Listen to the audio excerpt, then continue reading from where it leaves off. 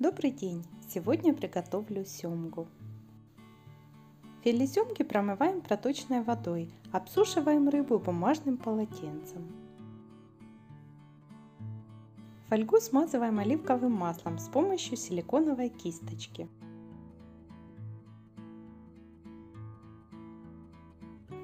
Выкладываем семгу на фольгу и поливаем рыбку соком лимона.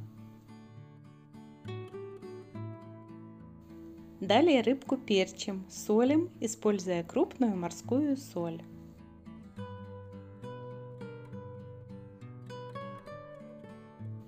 Аккуратно заворачиваем филе семги в фольгу. Запекаем рыбу в духовке при температуре 180 градусов около 20 минут.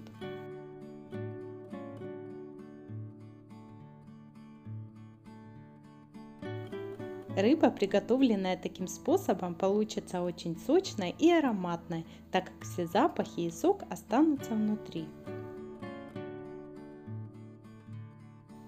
Запеченную семгу можно подавать с любым гарниром или как самостоятельное блюдо. Также она отлично сочетается с белым вином. Приятного аппетита!